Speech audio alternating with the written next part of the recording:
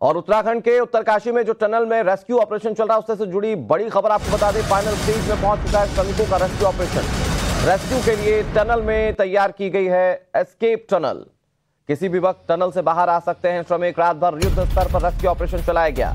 Tunnel में फंसे श्रमिकों से कुछ ही मीटर का फासला रह गया है। बड़ी बात यह है कि मुख्यमंत्री पुष्कर सिंह धामी खुद उत्तरकाशी में ही मौजूद हैं। टनल में एस्केप टनल तैयार कर दी गई है और अब किसी भी वक्त श्रमिक बाहर आ सकते हैं। इकतालीस जिंदगियाँ पिछले 12 दिनों से लगातार अंदर जूझ रही थी। सवाल ये था कि आखिर उन्हें कैसे निकाल लिया जाएगा? इस हादसे के बाद उनके निकालने के लिए कई कोशिशें शुरू की गई। कई बार उम्मीद बहुत आगे पहुँची। कई बार ये उम्मीदें टूटी भी। लेकिन आखिरकार आज वो दिन है। आज की वो सुबह जब ये उम्मीद की जा रही है कि अब से कुछ ही देर में श्रमिक जो है वो बाहर आ जाएँगे। कुछ ही मीटर का फासला रह गया है। और ये फासला कितनी देर में तय किया जाता है? ये देखिए, हलचल कितनी तेज है वहाँ पर। ये आपको तस्वीरें जो दिखा रहे हैं, अब से कुछ देर पहले की तस्वीरें हैं। और यहाँ पर अब इंतज़ार किया जा रहा है कि वो जो ड्रिलिंग का काम है, वो पूरा हो और वहाँ से श्रमिक बाहर निकले। हमारे साथ दो सहयोगी जुड़ गए बरखा शर्मा हमारे साथ जुड़ गई हैं। राकेश पांडे ग्राउंड ज़ीरो से हमारे साथ जुड़ गए हैं। अभिषेक सिन्हा हमारे साथ जुड़े हुए हैं। पहले बरखा आप ही का रुख कर लेते हैं। फ़िलहाल क्या तस्वीरें रेस्क्यू ऑपरेशन को लेकर आप देख पा रही हैं? क्योंकि यहाँ तक जो खबरें पहुँच पा रही हैं वो ये कि अब से कुछ ही देर में श्रमिक बाहर आ सकते हैं, लेकिन ग्राउंड ज़ीरो पर क्या हाल है? बिल्कुल, देखिए, अब से कुछ ही देर का इंतज़ार यहाँ पर करना होगा अनुराग। जो श्रमिक हैं, वो बहुत जल्द बाहर होंगे। काम जो है, देखिए, वो अभी फ़िलहाल तेज़ी से किया जा रहा है। तस्वीरें बिलाल जो है, वो आपको यहाँ पर पीछे दिखाएँगे। अभिषेक मेरे साथ लगातार बने हुए हैं। उनसे हम पल पल की अपडेट जो है, वो यहाँ पर लेंगे। अभिषेक, रात को मुश्किल हो गई थी। गार्डर जो है, वो आगे आ गया था, उसको काटना पड़ा। उसके बाद किस तरह से काम चला है? अभी सुबह छह बजे की क्या अपडेट देखिए, सुबह छह बजे की सबसे बड़ी अपडेट ये है कि आने वाले साढ़े सात बजे तक ये पूरा काम कर लिया जाएगा और बहुत हद तक ये उम्मीद जताई जा रही है कि जितने भी श्रमिक हैं वो बाहर आपको दिखेंगे।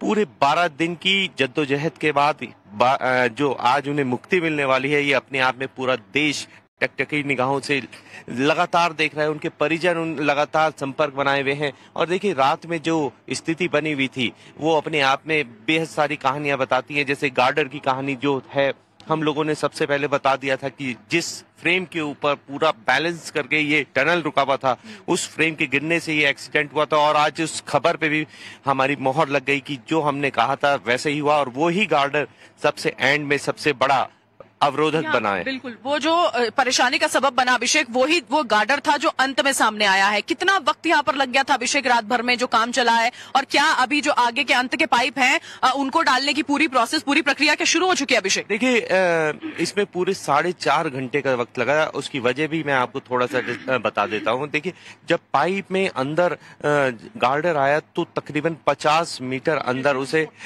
आगे क्रॉल करके जाना पड़ा और उसमें गैस कटिंग गैस कटिंग करने के लिए वहाँ ऑक्सीजन की कमी थी जिसकी वजह से जिसकी वजह से बहुत ज़्यादा दिक्कत हुई थी। बिल्कुल। और देखिए कई घंटों का वक्त जो है देखिए वो गार्डर को यहाँ पर काटने में लगा था। काटने का वक्त काम जो है वो यहाँ पर पूरा हो गया था। करते हुए बरखा हम उस पड़ाव पर हैं जहाँ उम्मीद कर रहे हैं कि कुछ ही मिनटों में या कुछ ही घंटे में जो हमारे श्रमिक है वो बाहर आ सकते हैं। राकेश पांडे का रुख कर लेते राकेश आप वहाँ पर पूरी रात मौजूद रहे। इस पूरे रेस्क्यू ऑपरेशन को आप बहुत करीब से देखते रहे। आपने क्या देखा पूरी रात? किस तरह से ऑपरेशन युद्ध स्तर पर चला? और मैं अगर आपसे अभी समझू, कितना वक्त और लग सकता है इन श्रमिकों तक पहुँचने के लिए, वो टनल उन तक पहुँचाने के लिए? देखिए, कितना वक्त लग सकता है वो अभिषेक ने जानकारी दी। एक आखिरी ऑब्स्टिकल्स था और जो गार्डर जिसका ज़िक्र लगातार हो रहा था और एहतियातन ये बार बार जो रेस्क्यू टीम में लगे हुए हैं, लोग एलएनटी के लोग, दूसरी एजेंसियों के लोग, उन्होंने बार बार इस बात का ज़िक्र किया कि हम आखिरी वक्त में कोई भी आतुरता नहीं बरतना चाहते हैं, कोई भी जल्दबाजी में नहीं है। हम आराम से सारे प्रिकॉशंस के साथ इस रेस्क्यू ऑपरेशन को अंजाम दे रहे हैं और इसीलिए मैनुअली लोगों को अंदर भेजा गया। वहाँ पर एनडीआरएफ के लोग गए। गैस कटर के माध्यम से जो गार्डर था, उसे काटा गया और अब आखिरी पाइप डाली जा रही है और जैसे ही ये आखिरी पाइप डालने का काम पूरा हो जाएगा तो उसके बाद जो है रूट क्लियर होगा, उसके बाद एनडीआरएफ के जवान अंदर जाएँगे, उन श्रमिक भाइयों के पास जाएँगे, फिर उसके बाद जो है उन्हें एक एक कर बाहर निकाला जाएगा।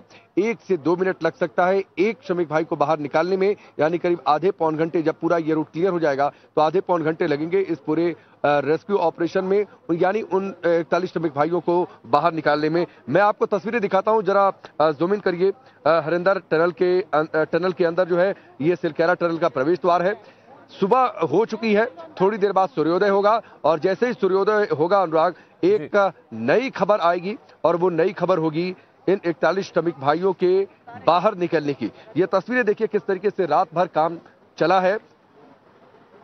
ये टनल के अंदर की तस्वीरें आखिरी पाइप को डालने का काम इस वक्त चल रहा है जो जानकारी हमें मिली थी क्योंकि पहले पहले जो है डेढ़ से दो घंटे यानी रात रात अगर मैं एक डेढ़ बजे तक की अगर बातचीत करूँ उस वक्त तक तो गार्डर काटा जा रहा था। उसके बाद से आखिरी के दो पाइप डालने का काम था एक पाइप डाला जा चुका है दूसरा पाइप जो है वो डाला जा रहा है। ये अंदर की तस्वीरें और साथ ही जो सामने आपको रास्ता बंद दिखाई दे रहा होगा अनुराग वो दरअसल वही मलबा है जिसके अंदर ऑगर मशीन ने सुराख किया है पाइप को डाला है और अब ये पूरा काम अपने आखिरी दौर में एनडीआरएफ के जवान किसी भी वक्त तैयार है। यहाँ पर एक अस्थायी अस्पताल इकतालीस एम्बुलेंसेज और साथ ही यहाँ से चिन्यालीस और जो करीब एक से डेढ़ घंटा यहाँ से जाने में लगता है वहाँ के जिला अस्पताल पर पूरी तैयारी है। वहाँ पर भी इकतालीस बेड का एक अस्पताल पूरी डॉक्टरों की टीम और ज़रूरत पड़ती है वहाँ से अगर किसी को एम्स भेजने की तो वहाँ से एयरलिफ्ट करने की भी पूरी तैयारी है। वहाँ पर हेलीकॉप्टर्स भी तैयार है। अनुराग। जी। आ, बिल्कुल राकेश बहुत इंपॉर्टेंट इंफॉर्मेशन आपने दिए आप और बरखा नज़र बनाए रखिए। ग्राउंड ज़ीरो पर सबसे बड़ी टीम टाइम्स नाम नव भारत की मौजूद है और पल पल का अपडेट हम अपने दर्शकों तक पहुंचाते हैं। पहुँचा रहे बहुत शुक्रिया आप दोनों का हमारे साथ जुड़ने के लिए और जानकारी देने के लिए। इस बड़ी कवरेज पर टाइम्स नाम नव भारत लगातार बना हुआ हर एक